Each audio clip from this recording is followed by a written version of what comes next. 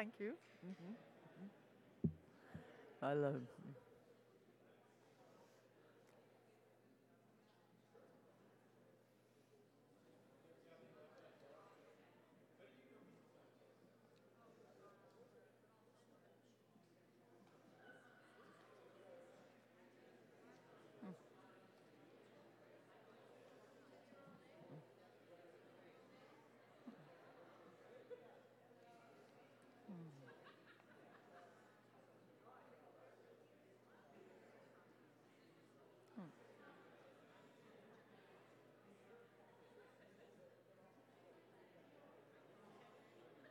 Mm-hmm.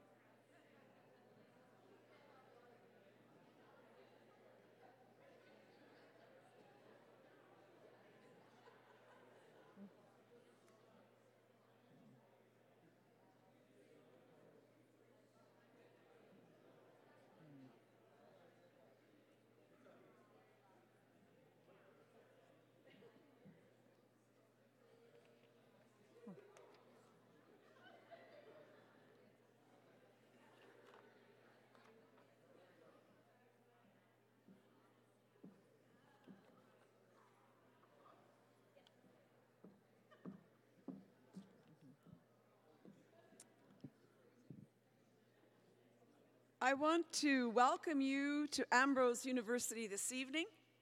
I am very glad that you've come. And, uh, but I want to begin by respectfully acknowledging that Ambrose University is situated on the traditional territories of the peoples of Treaty 7 in southern Alberta. And the city of Calgary is also home to Métis Nation of Alberta Region 3. My name is Joanne Badley, and I'm Dean of Theology here at Ambrose. Every year, the Faculty of Theology hosts the Downey Lectures, a, a lecture series endowed by the family and friends of a longtime teacher at Canadian Bible College, which was a predecessor institution of this school. The Downey is an opportunity to bring world shaping theologians to Calgary. And I am sure you will agree that this year we have certainly accomplished that. Next year, around this time in October, we will have Dr. Nijay Gupta, a New Testament scholar who is passionate about academic work that also serves pastors and the church. But this evening, I am very happy to welcome again Dr. Elaine Storkey for a second lecture on the topic of one of her recent books, Scars Across Humanity Understanding and Overcoming Violence Against Women. Earlier this evening, she introduced herself as a public Christian, and her record of accomplishments certainly bears this out. Dr. Storkey is a philosopher, a sociologist, and a theologian who has taught at a number of universities in Great Britain and the United States. She is a fellow of the University of Wales, a former director of the London Institute for Contemporary Christianity, and a member of Newnham College, Cambridge. She's also lectured in Africa, Asia, and Haiti. Her presidency of Tear Fund, the aid and development agency spanned 17 years. A broadcaster and an author, she's been a passionate advocate for justice and gender issues for 30 years, implementing many changes for women through 28 years on the General Synod of the Church of England. And so please join me now in warmly welcoming Dr. Storkey, Storkey for her second lecture in these Downey Lectures. Thank you. Thank you.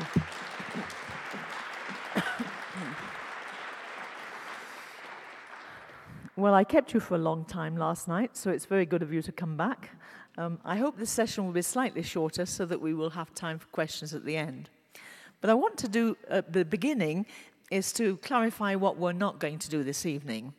We are looking at wrestling with domestic violence in our context, but we're not looking at all of the kind of problems that couples have in their relationships. We're not looking at the run of the mill issues that bug families and all the rest of it. We leave those kinds of things to the cartoonists. Advice given to son from father well, son, men need women because there are just some things you can't blame on the government all the kind of stereotypes that we often have of men and women. um, and I like honesty in a relationship. I'm not into playing games, says the woman. Whereas the guy clearly isn't into honesty, he's hiding behind a clown mask. Or, this uh, one is a fairly typical one a woman with men, uh, her husband's feet, and the caption is, Pastor, I'd like you to meet my husband Cal, who's decided to come to church this Sunday. There are lots and lots of stereotypes of dysfunctional couples or families that the um, cartoonists have a wonderful time with, and we can celebrate those. The reason that they're funny is because these relationships are very important ones. And of course, there's the whole issue of gender differences, the way in which women are so skilled at multitasking, and the men can only concentrate on one thing at once. Excuse me, Harold, whilst I go and slip into something more comfortable, says she, wearing a chainsaw and various gardening implements. He, meanwhile, is sitting down waiting for a quiet evening of intimacy. the one I like most of all is this one. Oh, no, two more. Um, well, the caption says, You can just rebuild the fort later, Harold. Phyllis and Shirley are coming over, and I need the cushions. What's happening there is that the man is bidding for space, for autonomy, for silence. He doesn't want a bunch of clucking women around him. And uh, again, that's a part of a stereotype that we often have of people in relationships. But this one is a relationship that's gone a little bit sour. It's been going on for a very, very long time. And uh, she's actually sick and tired and fed up, and she's venting her irritation um, with her husband because she now feels that she's part of the wallpaper. Nobody's taking any notice. Uh, he's not even communicating. Honestly, I could be sitting here, she says in her naggy voice, start naked for all you care, and you wouldn't take a blind bit of notice. The problem with, with the, the issue there is that she doesn't see the full picture.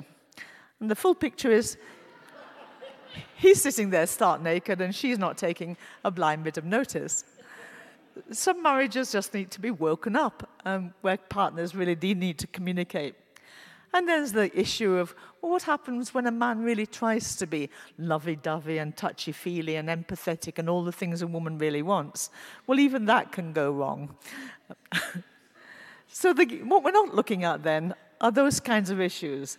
We're not trying to tease out and sort out all the problems that men and women have in their relationships today. I'll find the proper one I'm going to give you tonight in a second. what we're really looking at then is uh, seriously dysfunctional relationships which feature on violence. This is a quote from the United Nations General Secretary, when he was it, General Ban Ki moon, who was an enormous friend of women and a very great advocate for sorting out violent relationships. And this is what he said there's one universal truth applicable to all countries, cultures, and communities. Violence against women is never acceptable, never excusable, never tolerable. And probably he did more than any other general secretary to put those feelings and those issues into practice. And so, what we're looking at now is intimate partner violence at home. Crucial areas of um, issues that with, within couples and within coupledom that we really need to look at very seriously. First of all, of course, we've got to decide and try to define um, where intimate partner violence comes in the whole spectrum of what's happening in our culture today with regard to sexualization and regard to human relationships. And I don't know whether you recognize this quote in Canada, but it's certainly one that we recognize in Europe. The research from a very wide range of resources suggests that for the last few years, our societal view of women has actually got worse. Whether it's from violent pornography, violent computer games, street harassment, or even everyday sexism, it's actually creating a view of women which nurtures or normalizes women's violation. And this goes along concurrently with the emancipation of women, if you like, with the increased number of women in the professions, with their advancement in areas of promotion and so on, and with their increased skills. The dark side, the underbelly of that, is all of this. There's still a great deal of rape culture and pornography and so on. And this is a, a YouGov survey in Britain which concluded that girls and young women are growing up today in the UK being exposed to unwanted sexual attention, harassment, and assault. And it's almost an, an everyday experience, as came out, of course, in the Me Too award, Me Too program. So, what is domestic violence? What is intimate partner violence? What is domestic abuse? This is our UK government's definition. Any incident or pattern of incidents of controlling, coercive, threatening behavior, violence, or abuse between those aged 16 or over who are or have been intimate partners or family members, regardless of gender or sexuality. And the next bit is quite important. The abuse can encompass, but is not limited to psychological, physical, sexual, financial, and emotional. The Crown Prosecution Service's violence against women strategy in, introduced um, 10 years ago now We records statistics for domestic violence, forced marriage, honor based violence, and so on. So you see the list is starting to get bigger already by 2007. All of these other aspects of violence against women are coming into the categories that we're having to um, make statistics for and do research on. When you come to Canada, we have some very interesting definitions of violence too, violence against women, what we mean by domestic violence, put out by the Royal Canadian Mounted Police. And they specify it very, very carefully. So there are physical threats of violence, um, physical aspects of violence, which can be threats, attacks made by fists or made by any object to a woman, on a woman and they list them pushing, shoving, slapping, kicking, striking, choking, hitting, beating, and so on. The physical violence is part of domestic violence. But that doesn't include uh, sexual violence, that has to have a category of its own. Any forced sexual activity and other forms of sexual coercion. And these, of course, can take place in a marriage relationship as well as outside a marriage relationship. There is now a marital rape is an offense just as any other offense against a person. But that doesn't include everything. So you have to have an emotional category too. Um, violence against women or sexual abuse can also be words or actions designed to control or frighten an intimate partner, destroying their self esteem, giving them feelings of shame, making them feel like rubbish, undermining them, belittling them, humiliating them, landing them with anxiety or hopelessness, so that they actually lose their identity and sense of self. But there's also financial. And many abuse victims have found that they are now controlled or their um, intimate, their partners, uh, sorry, their money or their resources or property has been acquisitioned by their partner and they have lost all access to it. That's a very, very common factor. So it's very difficult for persons to, op- to uh, escape from that relationship because they now have, have not got the means to do so financially. And then there's this category that we don't have in the UK, but you have here, and that is a category of neglect. For us, this comes under a different kind of legal protocol. We're a situation where a person has responsibility to provide care or assistance for someone, but actively does not do so, that's also uh, under this category from the police here. If you look at the reports that have come out in Canada, they're very, very interesting. Um, looking at the statistics on family violence and intimate partner violence. 67% of family violence victims are women and girls, which does, of course, leave that 33% are male, usually boys, actually, and sometimes elderly people as well. And the 2017 report showed that you got intimate partner violence representing close to a third of all police reported violent crime in Canada. and they give you this figure of 96,000 victims in that particular age group. Of course, that's only the tip of the iceberg. That's only the police reported violent crime. And the reality of domestic violence is that the majority of it is not reported. Something between 60 and 90% of domestic violence never gets as far as the police and is not reported. Women were over, under, overrepresented as victims of intimate partner violence Eight out of every 10, 80% of the victims are actually female. And in fact, that's the most common violence experienced by women. The most common violence is not rape or harassment or being knocked around or anything else. It's actually within intimate partner relationships. You can find all those figures for yourself if you want to do. They, you also did a very interesting study of work violence in uh, Canada. this was done a couple of years ago.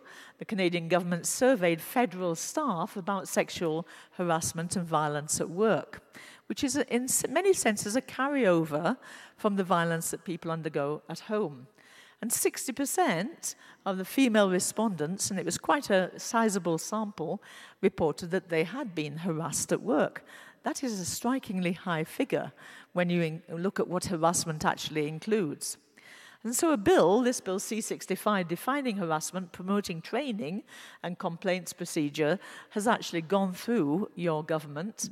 Uh, it's passed in, in May last year, and now it's become law um, in May this year. And it doesn't offer very much, but it does insist that there must be proper training and proper uh, complaints procedures. So these aspects of work can't just slip through the cracks anymore. They have to be dealt with and they have to be looked at. Um, this is what uh, a number of uh, surveys say. In Canada, some women have fewer economic opportunities, face bigger gender wage gap, at a higher risk of gender-based violence than others. And this is very important. Don't let's stereotype those people. Don't let's put them in a category of, uh, of disadvantaged or ignorant or stupid or uneducated people. It isn't because they're less intelligent. It isn't because they're not trying hard enough. It happens, and this is a key point, because of a greater systemic discrimination in their lives. In other words, they can belong to minority groups, they can belong to indigenous peoples groups, or they can actually be in situations where the whole uh, weights are loaded against them. Women who experience spousal violence are also more likely to endure extreme forms of assault. So, spousal violence, if you actually um, are suffering from uh, sexual or physical violence, it uh, has a tendency to become more violent and more extreme as the relationship continues. What might have started at first with a shove or a push um, eventually becomes some of these things, including choking, beating, being threatened with a knife or gun, and sexual violence. These don't usually start at the beginning of a violent relationship. If you started a relationship this way, it would not continue. Certainly, nobody who is uh, wise and uh, in, in charge of their relationship would enter a relationship if this is the way it began. But actually, it's usually when the relationship is underway, doesn't have to have been underway very long, and the person has to be besotted with their partner before they realize things are not as they thought they were. And then, of course, there's dating. Many violent uh, relationships begin in the dating process. And in fact, there was a study done in the United Kingdom, which I wonder if it's mirrored here. I don't know. I've looked for some figures, but I can't find them. A study done on teenage adolescent relationships, which actually broke my heart when I read the study. And I wasn't the only one. It's a very careful study done with a lot of pediatricians and sociologists and researchers from different universities and also the NSPCC, the National Society for Prevention of Cruelty to Children. And what they concluded in this very widespread interview research was that intimacy, part of intimacy, uh, was now accepted to be violent. And many people, just many girls in particular, thought the fact that their boyfriend beat them up occasionally or raped them was nothing very strange. This is what they were now led to believe was normal within an intimate relationship. And that shocked the researchers. Sociological researchers are not usually very shocked about things, they just report their findings in a rather bald way. But when you read this report, you read the shock that they found they had when they discovered the level of violence that was happening in adolescent teenage relationships and were being accepted as somehow normal. So all of these things are um, going on in our midst, in our cultures, right under our noses, day after day, and it's a very striking phenomenon.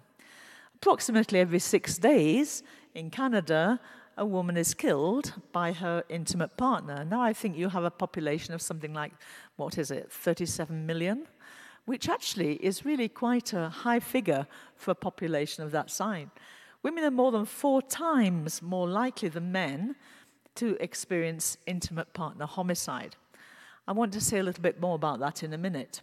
If you look at UK comparisons, and I want to do that because I know so much more about the UK, most incidents are not reported to the police. And yet, even so, the police are receiving a domestic violence related call every 30 seconds. Whilst we've been having this conversation here tonight, the police in the UK, even during the night, their telephones will have been ringing constantly with domestic violence calls. They didn't used to take them seriously. They used to just refer to them as little domestics, and now they do because police are very carefully trained to weed out and to understand and to take note of, because if they don't, homicide might well be the result. And over two women are killed by a partner or either current or former partner every single week in the UK. We have a population of 66 million, so in fact the figure is higher for us than it is for you. But just let that soak in. Two, at least two every week are killed by their partners. That's a very high homicide rate. Studies over the last decade have also indicated that higher rates of intimate partners violence occur more amongst indigenous people in Canada and there's specific groups in the UK too where you will see a higher incident of violence, partly because violence has been uh, brought into those cultures by externally, or partly because they are endemic in those cultures for very long historical reasons. in fact, if you actually wanted to summarize the crime figure surveys in the UK, they would look something like this. 1 million, 1.4 million women suffer domestic violence annually. That's, uh, those are figures are taken from Women's Refuge and Women's Aid, who are dealing with helplines and are dealing at the coalface far more than the police because they're not just police reported figures. One in four women will suffer it in their lifetime. Um, that's probably a very conservative figure.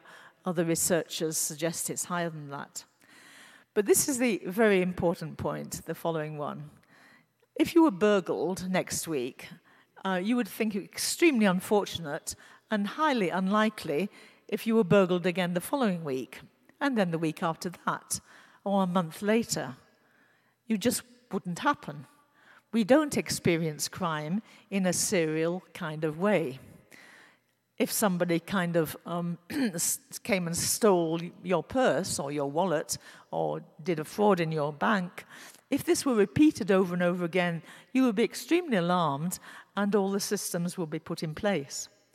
But actually, with uh, domestic violence, it occurs all the time.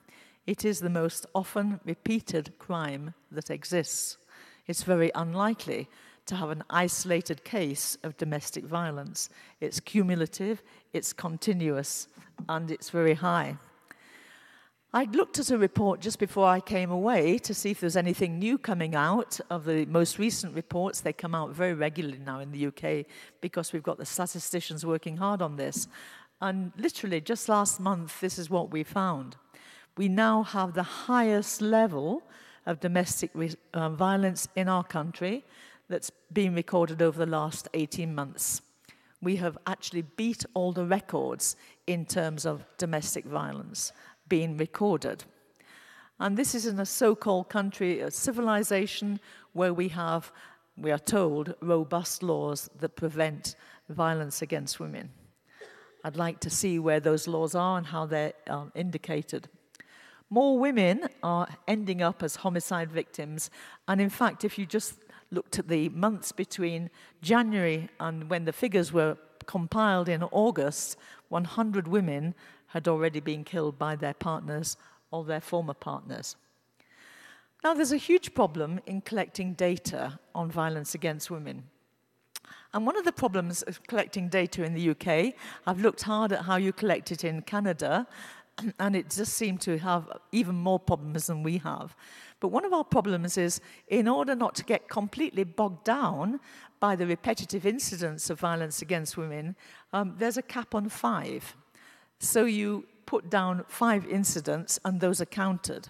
And of course, that's utterly ridiculous, uh, as this woman says, when she was asked to um, kind of report on her uh, experience of domestic uh, violence.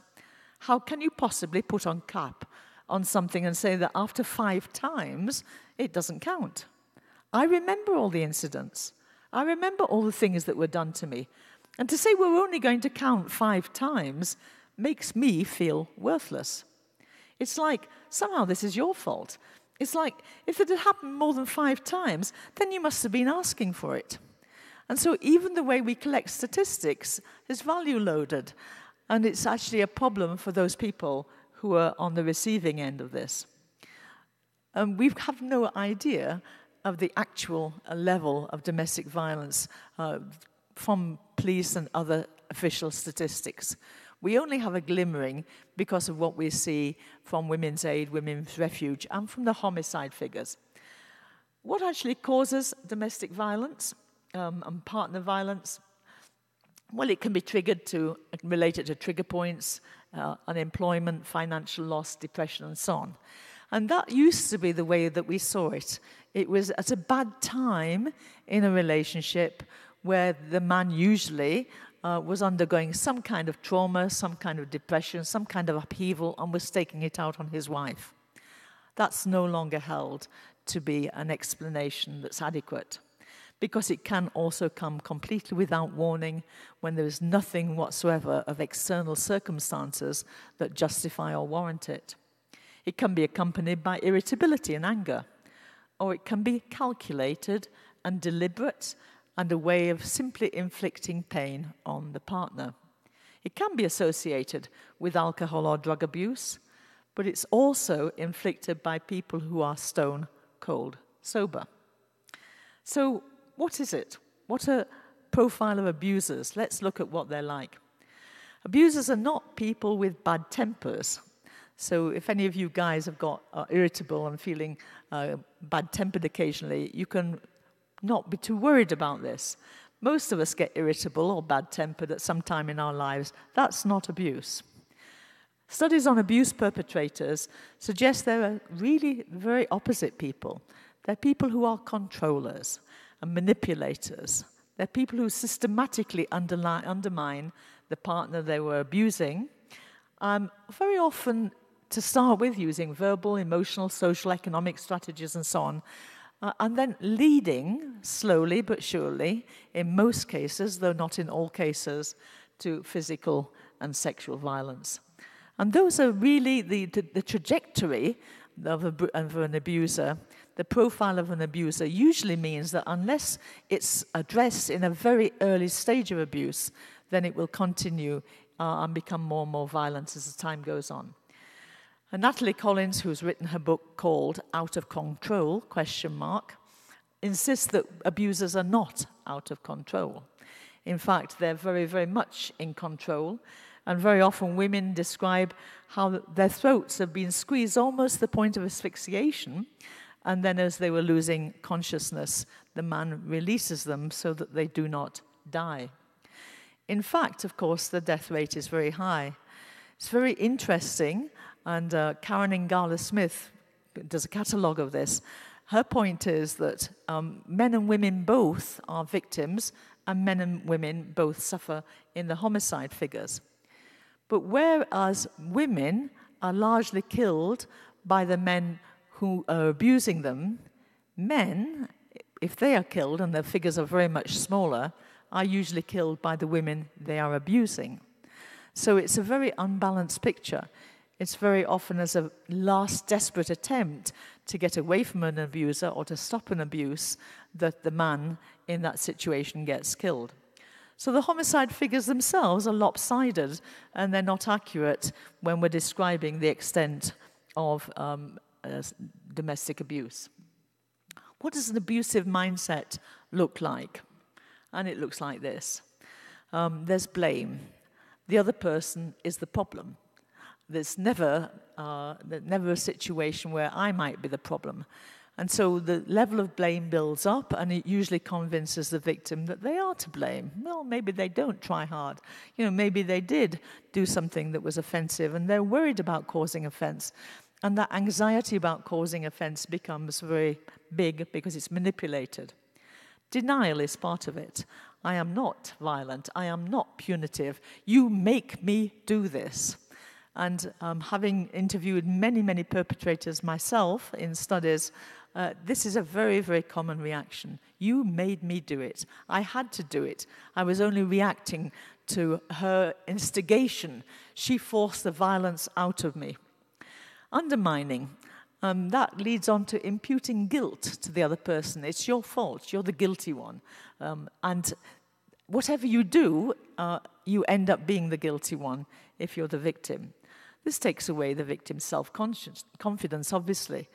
But the, it plays mind games. There's, of course, we all know about gaslighting, where many well known uh, perpetrators actually deliberately distort the mental awareness of their partner so they become anxious about their own sanity and then spread lies, usually to get control of the children, that these people are actually on the verge of a mental breakdown or they're mentally incapacitated because they have been feeding and building up um, situations which are no longer normal for the person on the other side. And then manipulation. Manipulation in terms of relationships, attempting to control the relationships that that partner has, relationships with friends, patterns of going out with friends, patterns of sharing confidence with friends, going shopping, buying clothes, um, controlling manipulation so that the person can only wear what the partner wants her to wear, can only have the friends the partner wants her to have, and actually cuts off from everything else. And then finally, isolation. Cutting the partner off from places, from people, from um, telephones, even monitoring their movements through tracking on the phone or what else, cutting them off from the abuser, uh, from anybody independent of the abuser. And what about how do we kind of tell who an abuser, abused person might be? And this is very difficult and very dangerous. And I'm going to put a list of things on the board, but I want you to take them also with a pinch of salt because a person might exhibit all these characteristics and not be at all uh, in danger of uh, domestic abuse. But those who are are often isolated and very jumpy or anxious in their partner's company.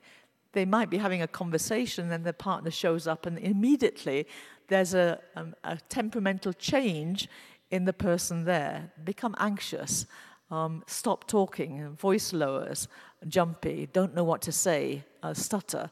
And there are all kinds of characteristics that are very important. They're, they're often reluctant or actually completely unable to speak for themselves. Very often, questions to the person who is abused will be answered by the perpetrator uh, if that person is there. So the, the woman becomes used to being silent and not speaking for herself. Then, unexplained absences whether it's from work or school or college or wherever that person is, having very little access to money, not able to spend any money, not able to buy coffee uh, if they're going out for coffee with friends or anything like that. And little interest in appearance. This for me is a big one. Um, a girl came for a job in a college where I was interviewing, and I saw straight away when she came in that she hadn't come for a job. Uh, she'd come for help just by looking at her appearance. And this is the only way she could actually get access to someone outside that partnership by offering to come and, and be interviewed for a job. In fact, the man came with her. Very interesting. And I said um, we, she couldn't be interviewed with him in attendance. This had to be a personal interview. I managed to get rid of him by calling a colleague saying, Would you, take, uh, would you come and take him around the building so he can see where his partner might be working? Um, and as soon as he'd gone, I said, Okay, why have you come?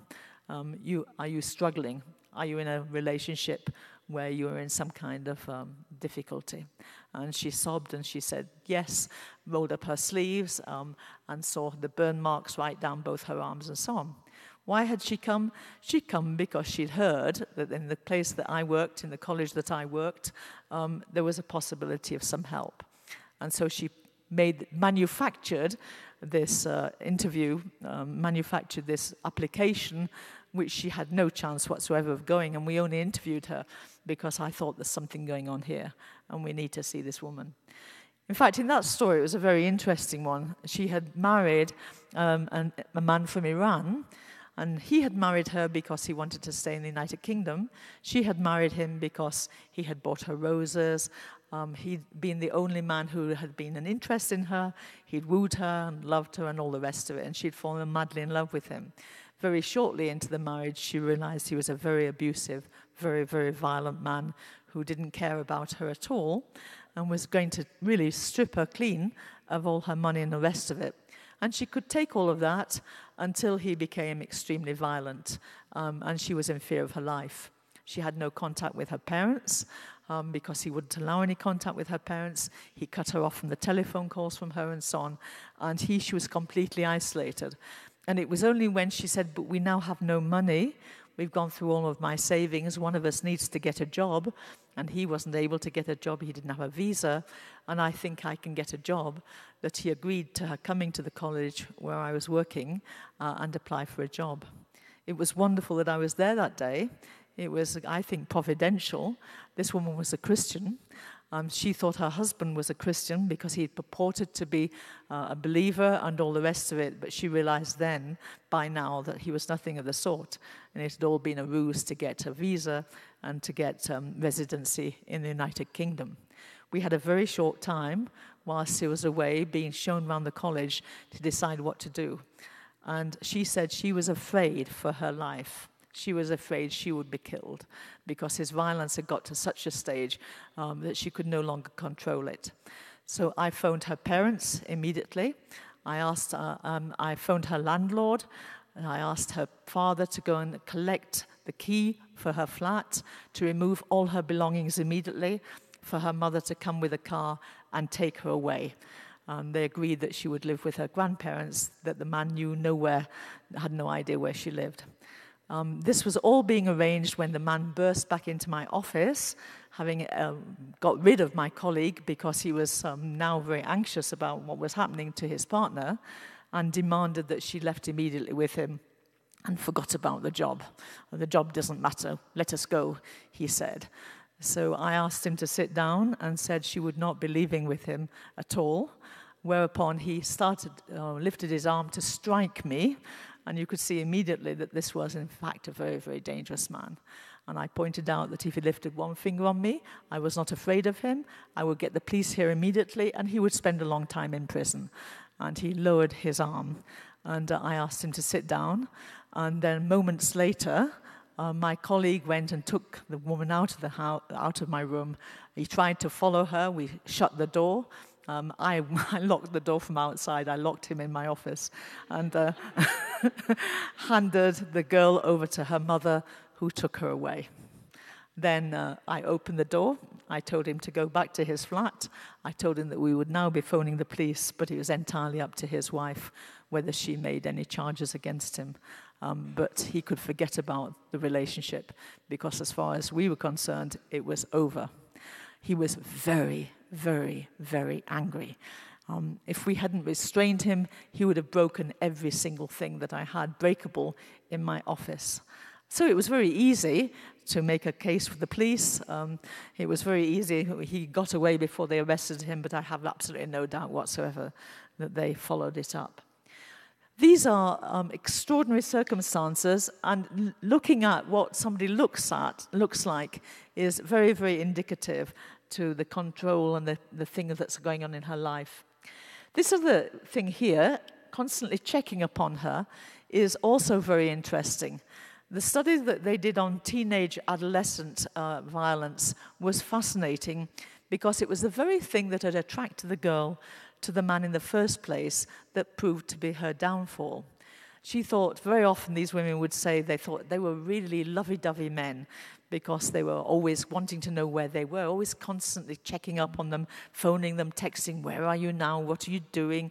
When will you be back? And wanting a running catalogue of all their activities during the day. And they thought this was so romantic. This man cares so much about me. He just wants to know what I'm doing all the time.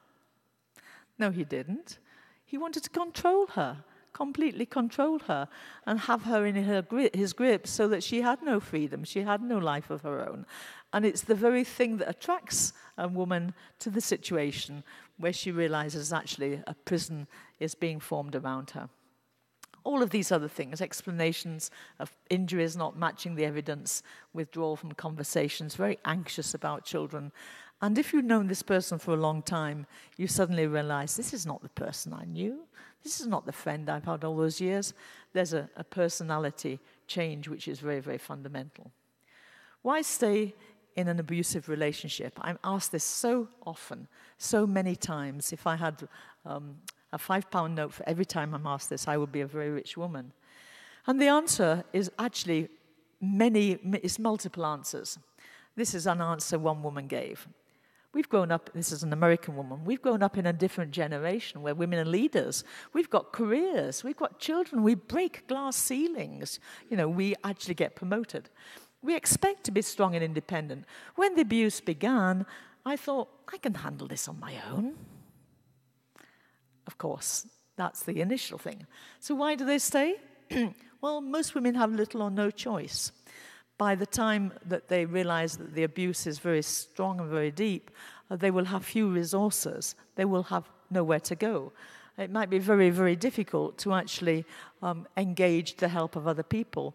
The parents might not be that sympathetic, might not even know what's going on in the relationship, might be very, very worried but not know how to help. But also, there's a denial that this is abusive. This, is a, this came out in almost all the studies I've looked at. At the beginning, the woman denies this is abuse. It's not actually abuse. I mean, he's just horrible to me, but it's not abuse. And it's only when it, the nature of abuse is spelt out that that becomes uh, obvious. I think I can cope. I'm used to it. I mean, this is a way of life. I, I don't like it, but it's the way it is for the sake of the children. Children need a father. He's not touched them yet. And actually, if I take them away from him, how, how are they going to cope without a dad? It's not fair. But often they have no confidence to leave. What would I do? Where would I go? Um, how could I act on my own? And they sometimes don't even want to lose, lose a partner's status there's something about having a partner, something about being married that they don't want to lose, and they don't want victim status. That's the very last thing they want. But also, there's fear of threats and reprisals. and, and this is the real sticking point for many women, because the most dangerous part in the relationship is the time when she's trying to leave. And the threats and the reprisals can often be filled out very fully and then there's nowhere to go. And one thing that we came across in a very recent study, which actually is very, very sad indeed, is this final explanation that the church says I should stay and forgive him and try a lot harder. And again, that's such a common response from women who are Christians and churchgoers when they finally break their silence and tell a leader um, that it comes out so quickly. But the church says, you know, there are two people who make a marriage, and I really got to try harder. And actually, it's all about forgiveness. I was told just two weeks ago, I'm finding it so hard to forgive this man, says this woman. Can you help me to, to know how to do this? I said, What do you have to forgive him for? And she showed me bruises, she gave me catalogues of horrors and so on. I said, you know, you shouldn't actually be forgiving him. He should be crawling on his knees and pleading with you. Um, the whole idea that somehow you're at fault because you're not forgiving this guy, uh, it's a misunderstanding of whole Christian teaching. So, those are some of the reasons, uh, and of course, the loss of identity. I don't even know who I am anymore. Where would I go? Who am I? Is, what is there to do? What's the rest of life? It's a complete bewilderment, lack of confidence, lack of direction. Very often, for many women, it's only when something starts to happen to their children that they realize the game is up and they have to get out of that relationship. Not only are they in danger, but so are their offspring.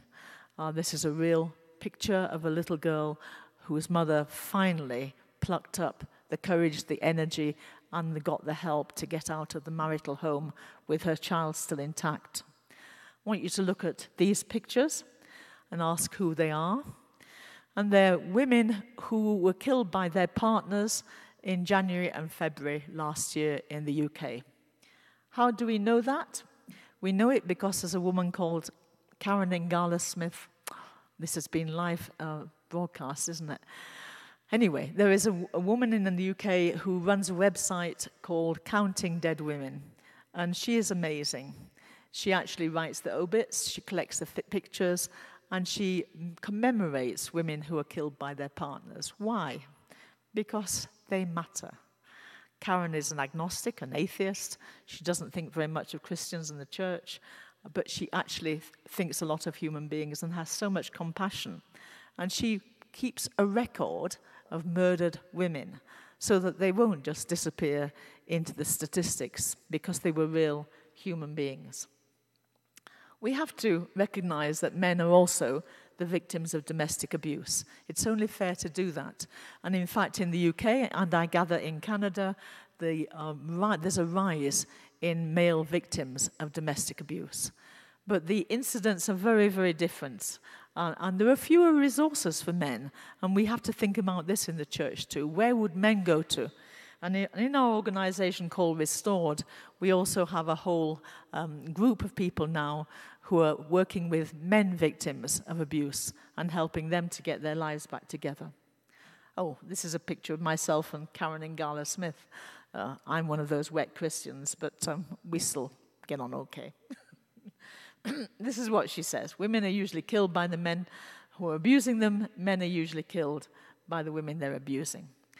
I want to spend just a minute on global comparisons before I move on to say, okay, what do we do about it? Global comparisons, World Health Organization, 50% of Bangladeshi women experience some form of domestic violence. Massive, massive number of the population. Acid attacks are very, very common. 603 million women live in countries where domestic violence still isn't a crime. And shame attacks, um, we looked at yesterday. And if you look at some other comparisons in Australia, Canada, Israel, between 40 and 70 percent of female murder victims uh, are those from domestic violence. In India, 22 women are killed every day in dowry related murders. South Africa, a woman killed every six hours. Guatemala, two women murdered on average every day by partners. In Europe, seven women are said to die every day. And the level of violence and the kind, this is an acid attack. I'm going to show you the next picture very quickly. I'm only showing it to you because this is the woman's way of earning a living now. This is all she has for a livelihood since her partner, her husband, violated her by throwing acid all over her face and uh, destroyed the rest of her life. She lifts her shawl so you can take her photograph and pay her money, and this is her livelihood. This woman is 36 years old. And wherever you go, um, there are campaigns against violence and uh, abuse of women, and it's a fearful issue. Whenever the press comes in many parts of North Africa or other countries, out come the posters, out come the demonstrations, so that we will know this is an issue in their community and their culture. Why is it a Christian issue? Why do we need to be bothered about it? I know I don't need to ask you that question. I know because you've come to this lecture tonight, because I've already had several days at Ambrose College, and I have a huge respect for what you're doing, for the way you're thinking, for the way you're putting your Christianity in practice. But I'd done the slide anyway before I came, so I want to, I still want to go through it. Because we're human beings. This is a real human issue. Because of our theology. Our theology does give us, gives us no justification for doing nothing about uh, the violence in our society. Because of our incarnational ministry, we are here as God's ambassadors. We are here as God carriers to our generation. We're here as the hands and feet of Jesus Christ. We're here to model his love to those around us. We are incarnational, and that means we deal with the pain and the heartache of the culture around us. But finally, because if we're not part of the solution, we're part of the problem. And that's what I now want to focus on in just a minute or two before we leave, leave the subject and go on to something. Um, we did a report in, with a number of universities sponsored by Restored, the organization I mentioned last night, uh, in Cumbria in the north of England, to see what, would, um, what the statistics would look like if we compared the general population and the church going population. We were hoping that we could show that the church going population had a very, very much lower incidence of domestic violence or intimate partner abuse. We found the opposite. We found there was almost no difference between those people who went to church regularly and those people in the population who never went to church. And it was so sad a finding. But why is that the case? And the case is because, because the culture is too big for us because violence, when it's endemic in the culture, is going to affect Christian people in the church. And especially if the church is a closing a blind eye, if people are not trained in counseling, if disclosures are not handled properly, if it's never dealt with from the pulpit, if there are not counseling and pastoral groups that are clued in, it's going to happen and it's going to be silent and it's going to be pushed under the carpet. But also, it happens when we distort the theology and even justify it. And I just want to take you through some theological distortions that I've come across when I was researching this, but even more so as I've been reaching out to the groups that are doing something about it. I want to take you into a best selling book. Sold millions of copies in America, several editions. It sold far more copies than my book has um, which is a great uh, loss and sorrow to me because it's such a rubbish book, and mine is a good book. Even though I say so myself, it could be better. It's not perfect, but it's a lot of hard work into my book. But this is what she says it's a book by a woman called Debbie Pearl, and it's called Created as His Helpmeet. And this is what she says. God commands wives to submit to their own husbands. God informs men that they are the head of the wife. God tells the wife to be subject to their husbands in everything, every decision, every move, every plan, and all everyday affairs. Okay, where does he do that? And what Debbie Pearl has done, which she does over and over again in her book, she takes one verse and then she actually puts words into God's mouth. They've got to be subject to their husbands in everything, every decision, every move, every plan, and all everyday affairs. I've not read that in my Bible. But there's more. God, oh, missed it. God, what God says stands regardless of the man's goodness or the apparent lack thereof. You were given your blueprints with words like honor, submit, and reverence. This is God's will, and it is up to us to believe and obey God.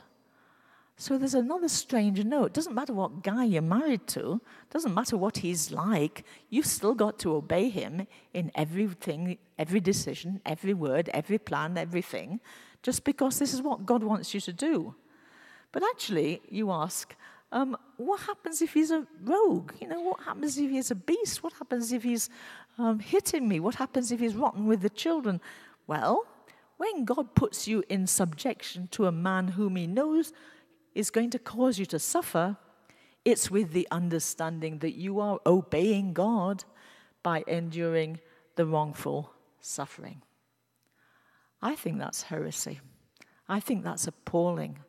The whole idea that God puts us in subjection of people who are going to harm us and damage us and hurt us deliberately so that we can obey God seems to be so far from the biblical picture of marriage that we get in the New Testament, a million miles away.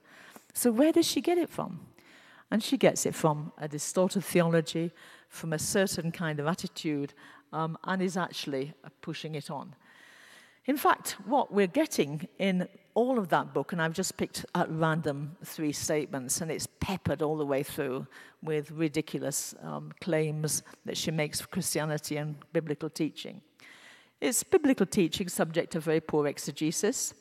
God is presented throughout as privileging the male. Whatever the man does is right because he is the God person. But also, male entitlement is established.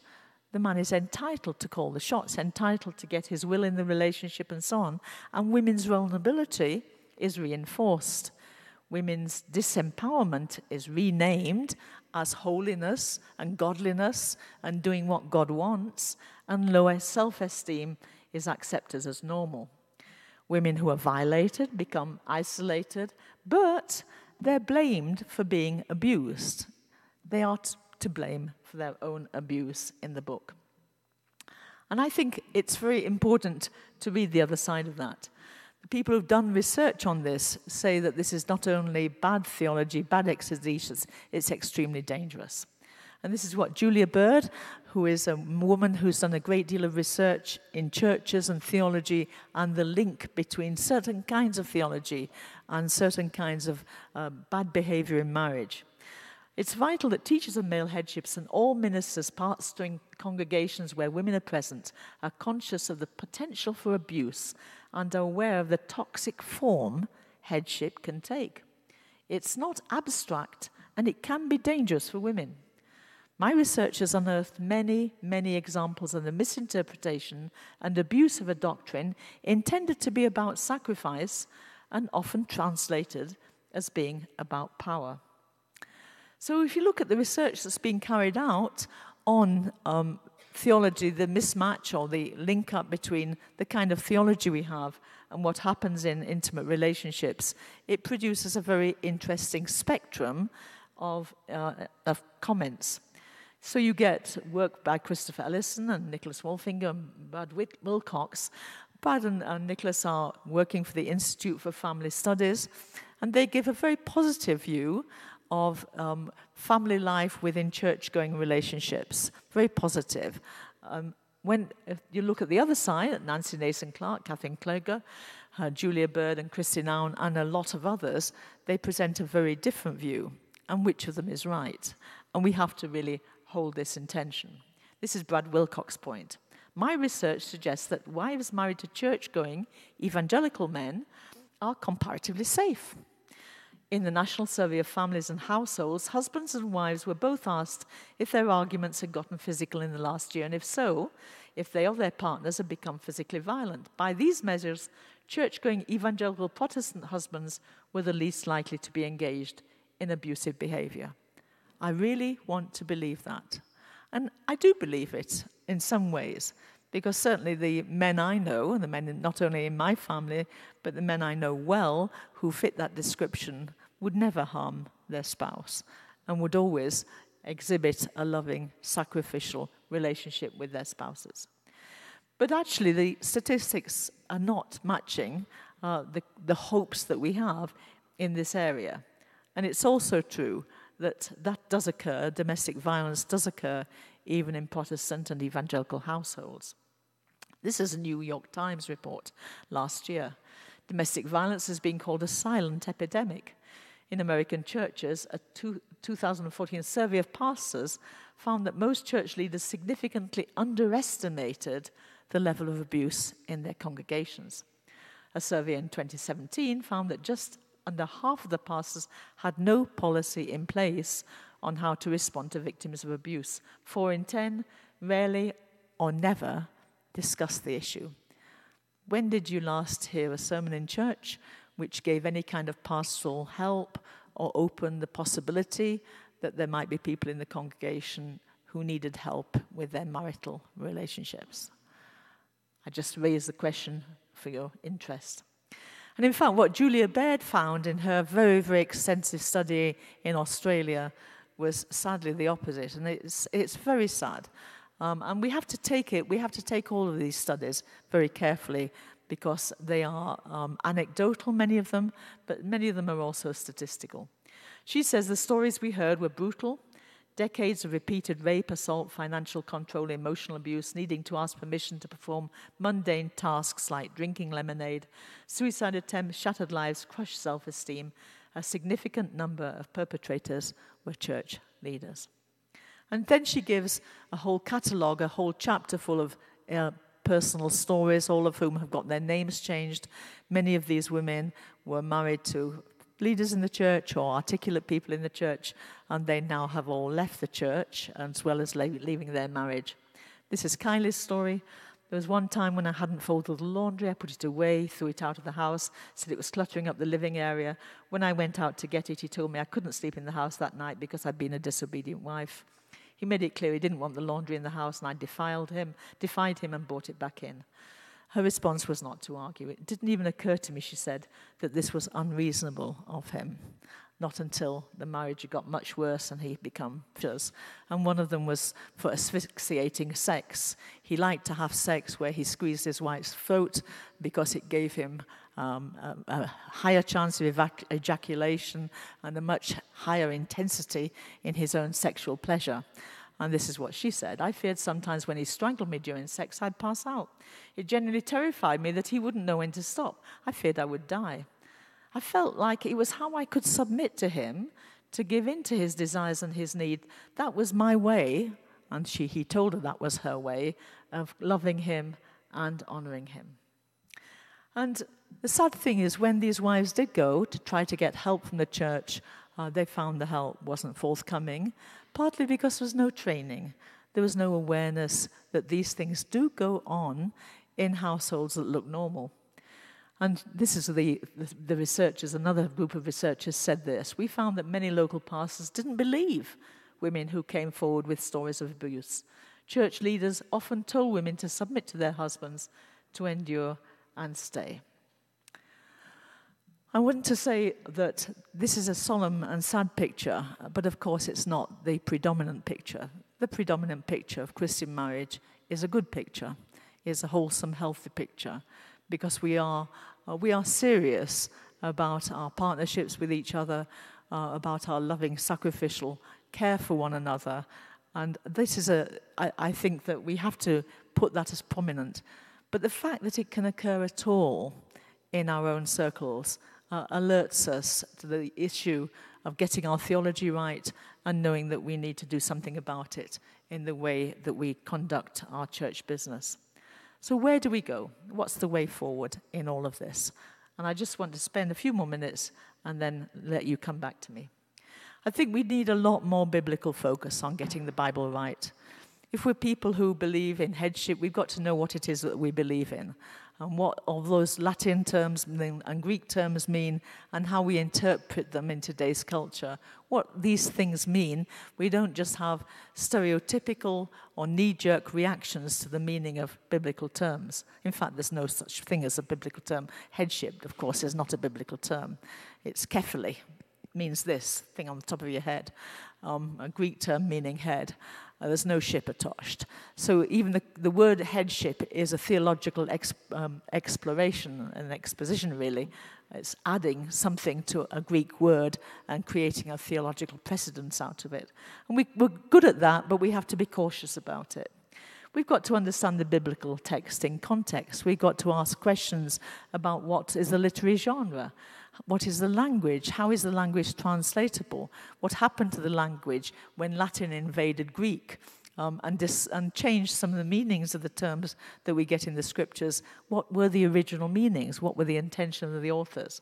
Where does it come in the story of our humanness? How do we understand male female relationships in terms of creation, sin, redemption? When the Bible says your desire will be for your husband and he will rule over you, what does that mean? What part of the story is it? Is it the creation story that there's going to be dominant male dominance and rule in the creation because this is how God wants it? Or is it part of the sin story? that sin has come into the human race and that has to be dealt with. And the consequences of sin is that you are going to be, the woman is going to be desiring the husband, but the cost will be male dominance. And those are different ways of interpreting simple texts, and we've got to do that all the way through. We've got to match the Gospels and the epistles, the way Jesus talks, the way Paul talks. We've got to also link what Paul says with what Paul does when Paul honors women, when Paul um, affirms women leaders in the church, when he sends the gospel uh, with Phoebe, his letters with Phoebe to the churches and so on, and is always acting in a very positive way when he talks about in Christ there being no more male or female, male and female, Jew or Gentile, slave and free. These are foundational passages for understanding much of what Paul is saying. And we also have to hold in creative tension, hold together these four fundamental concepts in understanding gender. And the concepts are different. Male and female are different, but we're also same. The similarity, we're more like each other than anything else in creation. Complementarity, we fit together. Um, we kind of meet one another's deficiencies. We, um, we, we work together because this is what we're meant to do. But most of all, we are in union as male and female uh, in the image of God, in the body of Christ, and so on. All of these things are very important to sort out. And then we move on to initiatives, ways we can address it in our own culture, in the church, but beyond the church, we can offer redemptive hope and help to the culture as a whole. Better preaching on gender. Let's get it right. Let's get these passages right. Let's preach them. Let's give people hope and uh, a direction for their relationships. Better pastoral training and discernment. So when somebody comes to disclose, we can actually discern and understand what's going on. Relationship counseling. We need to do a lot more of that in our churches. Have pastoral groups that are well trained and able to help people and help for survivors and perpetrators. Advocacy. We need to get laws changed. We need to have more robust laws. We need to have more help for people in trouble. And all of these other things. Gender, gender equal partnerships in the way that we run churches, do worship, have families, have neighborhoods, and so on. And working with partners beyond the church. These are just some of the initiatives, just one or two, that we're busy with at the moment in the whole area of intimate partner abuse in the UK. Christian initiatives, Restored, I've mentioned yesterday. These are some of the folk very involved in Restored, um, doing a lot of work. First Man Standing, I've already mentioned, men standing together to actually try to work out what biblical masculinity, if there is such a thing, is really like, and not the stereotypes that are often pervaded from other quarters.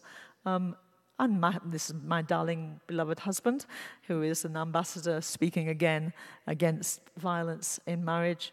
This is a bunch of our supporters uh, wearing high heel shoes and doing their uh, march for a mile. My husband won't join them, he thinks it's just a, a bridge too far. and this is a survivors pack that we have put out for all the churches to use. So that if you are um, a survivor of domestic violence, you will find redemptive hope here. You will find help. You will find us trying to get people closer to God, trying to tap into the healing power of the Holy Spirit and the love that God has for them. And it's been a lifesaver for many people in the churches, and I hope it will turn the situation around. And it's wonderful for those outside the church. We're now getting this taken up by the population as a whole. And then there's advocacy. We've been trying to get the uh, Istanbul Convention ratified in our culture. These are two women from Parliament, one Scots Nat MP, who put this through as a member, private member's motion. The other is the um, member of the, the chair of the Women's Council. And this is the bunch of folk who got it through. So it's now law in our country. And were it not for Brexit, we would have ratified it by now. These are advocacy things that we can do.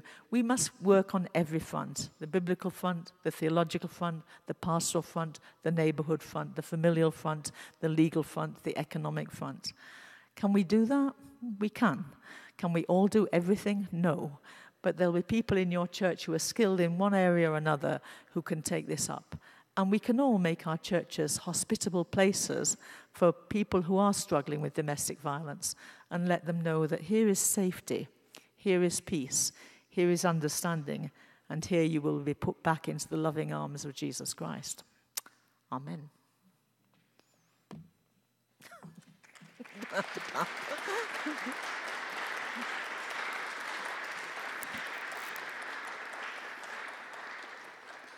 Dr. Storkey, thank you so much for another riveting lecture. You've given us, again, an, a weighty amount of information to process and think through. And I think, as most of us here tonight are people of the church, we are very privileged to have with us, responding to Dr. Storkey's lecture, Pastor Marty Dolfo Smith from North Shore Alliance Church, who is the discipleship pastor at the church, and not only has been working in church ministry for 30 years in the Vancouver area, but has also counseled and walked alongside victims of abuse, particularly women, throughout her pastoral career. Marty has been a member of the Christian Missionary Alliance board, and she's also been on several different boards of different NGOs serving vulnerable populations. Marty graduated from Regent in Old Testament. And not only is theologically sound and clued up in a lot of the things that Dr. Storkey has talked about us tonight, but she has pastoral experience in this question of what do we do as people of faith? How do we respond as the church? So, Marty, please come. Thank you.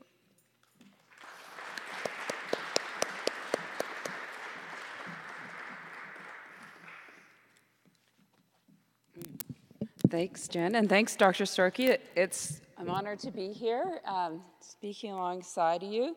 It's interesting. I was uh, preparing a sermon on violence against women uh, for the spring, and I ordered Dr. Storkey's book a year in advance, and Amazon did not come through. I was not able to get it, but Jen says there's a new, new edition coming out, so I hope I can get it now. Um, but I come to you as the granddaughter of a woman who experienced intimate partner violence and as the daughter of a mother of a woman who was traumatized by it. And it's uncomfortable for our family to talk about, but violence has infiltrated three generations of our family. And the intergenerational trauma is still impacting even the fourth generation. And so I know what it's like to experience it as it goes down the generations. And in my work, I've met many women who've experienced rape and sexual abuse and intimate partner violence at the hands of men that they trusted. I've sat with them, I've prayed with them, I've sent them to counseling, I've gone with them to see the police, I've gone to court, I've met with social workers, and I've helplessly watched their suffering in many ways, both them and their children. And I've also unfortunately seen very few men willing to seek sustained help for their issues of power and control, for mental health, anger, and violence. And I've even seen fewer who are able to reestablish healthy relationships. And it's heartbreaking to see that. So, Elaine's message is a message we need to hear is something we need to familiarize ourselves with in order to be people who can walk alongside um, women are, who are struggling. Because in Canada and in the church, there is there are still families struggling with violence. I uh, especially appreciate um, Dr. Storkey's awareness of the consequences that this has for women, and as I've said, for succeeding generations like mine.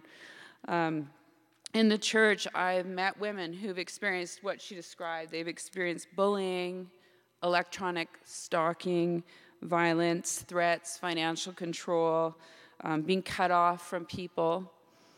I've seen women, vulnerable women especially, in relationships that they can't get out of. A couple of my uh, women I've worked with have let me share some of their stories, but Sophia uh, was a woman who was traumatized in childhood by sexual abuse um, by a neighbor um, that went on for years. And when she moved into adulthood, she married a man who she thought was going to be a good man, and he ended up being an abusive man. And she didn't know how to handle it, she was stuck in it for years. And I know many women that I know who were in violent relationships grew up in homes where there was unhealth and violence as well. And so, again, it feels normal. They don't notice the signs, and then they end up being re traumatized. Um, I also seen the church, as, as uh, Dr. Storkey referred to, as not handling the situation very well. Uh, churches in the past, especially, haven't known how to respond. Uh, a woman who I'll call Laura uh, was in a situation where she, her husband was on the board of the church. Um, she, the abuse became increasingly violent. She was choked. She went to the church, uh, one of the church pastors, a female pastor, to tell her what had happened, and the pastor minimized it.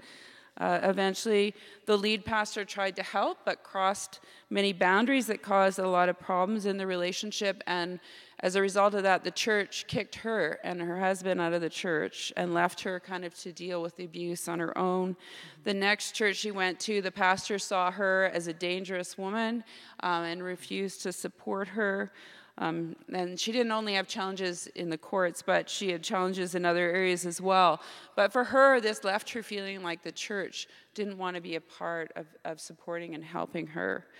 Um, there are many challenges that women face in these kind of relationships. I've seen social services drop the ball, um, the courts have dropped the ball. Um, and so, again, it's very difficult uh, for people to respond in a way that is consistent and helpful. When I've heard these women's stories, one of the things that has amazed me is the consistency of their description of the men. These women are all different, but the way they describe the men is all the same. And they use similar techniques and they use threats. They can't stay in counseling. They can't even keep a lawyer. They often represent themselves they become very they're isolated from real community and support. And so it's amazing because you know a woman's telling the truth because she tells the exact same story as the last woman who came in.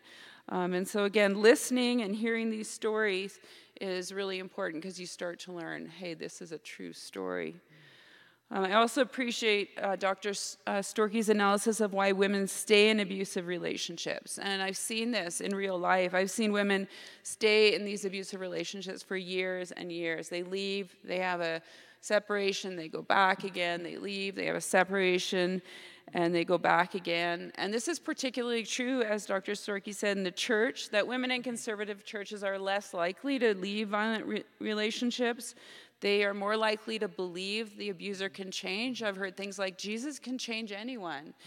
Um, I have to believe in redemption, and yet no change is happening. They're less likely to get community support because of the shame they feel, and they're more likely to believe it's their fault and that they failed as wives. Um, and not only that, there is a culture of victim blaming and shaming in the church, and this often will cause women to leave the church entirely. The first woman I worked with um, was in a small was from a small town in Saskatchewan, and she was a pastor's wife. And when she disclosed her abuse to the board of the church, they told her to stay and submit. And so she left her husband and she left her church. And when I met her, um, she was in a lot of pain. She still wanted to have a relationship with Jesus. She still w- wanted to be a Christian, and yet it was she was so traumatized by what had happened that it was hard for her to do that and so i had a chance in that time to listen to her and to be able to express um, some of jesus heart towards her and, and towards her abuser um, I've also seen distress by women um, in the church who decide to stay in abusive relationships. And so they lose the love and support of their communities who want them to leave. Um, and they, so because they, they they um, their communities think i know what's best for you. You should get out of that marriage. And when they don't they don't support them anymore.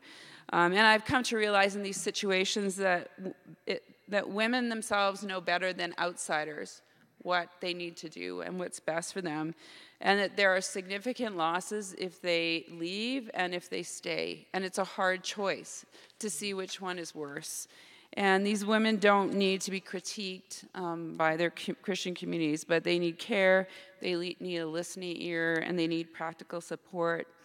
One such woman I worked with, when she returned to her abusive boyfriend, received an anonymous shaming letter from some women in our church who couldn't believe that she'd wasted the church's resources and now gone back to this man.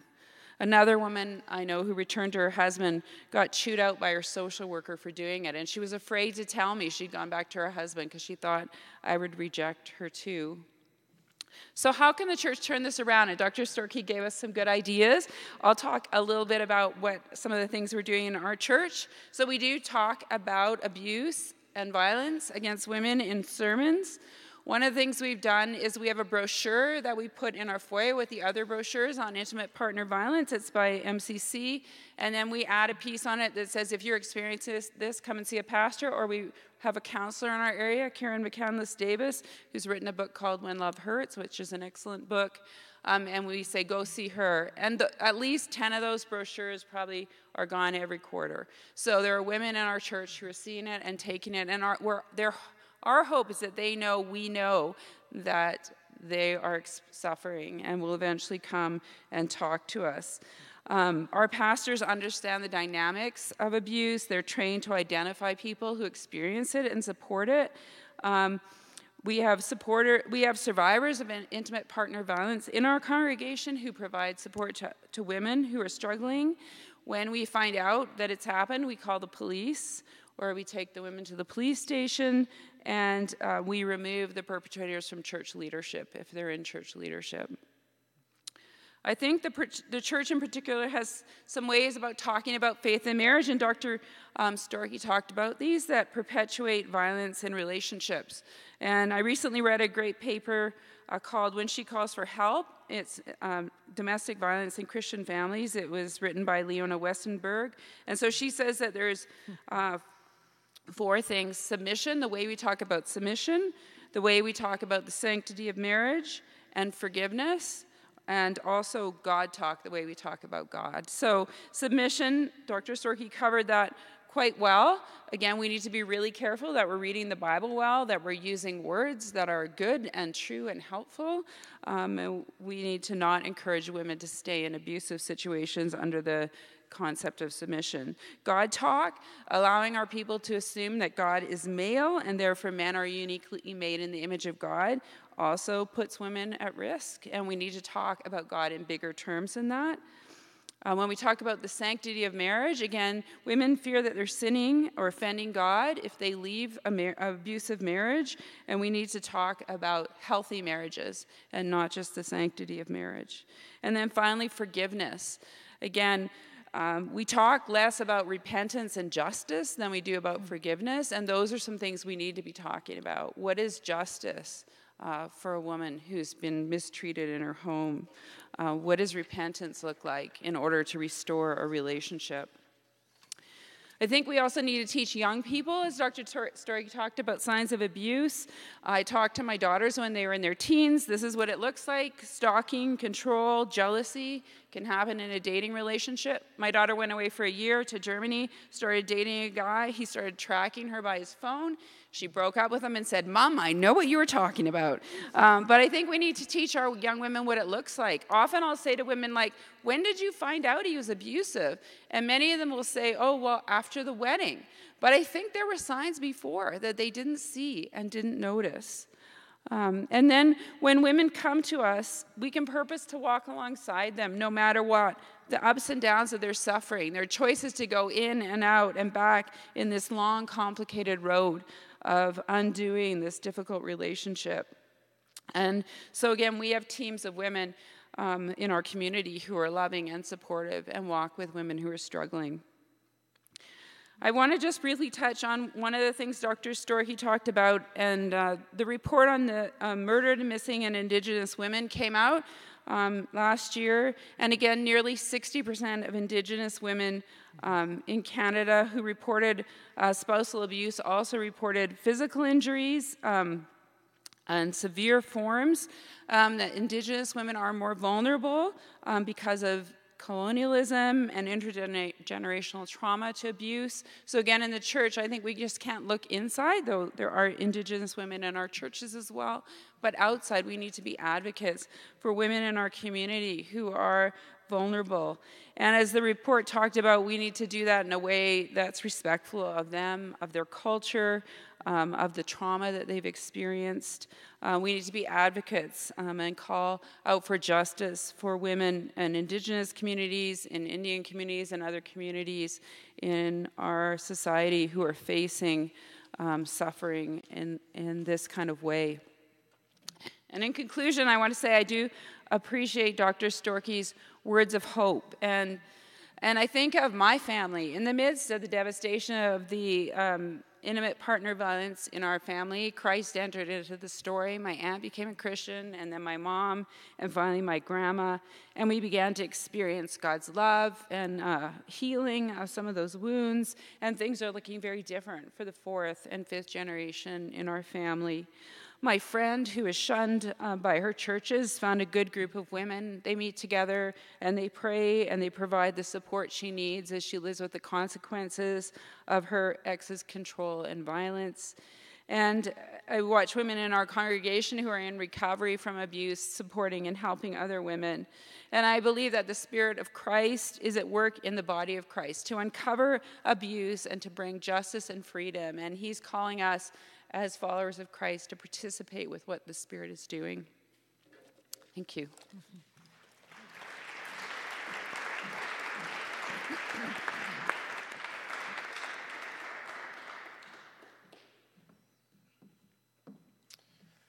Good evening, everybody.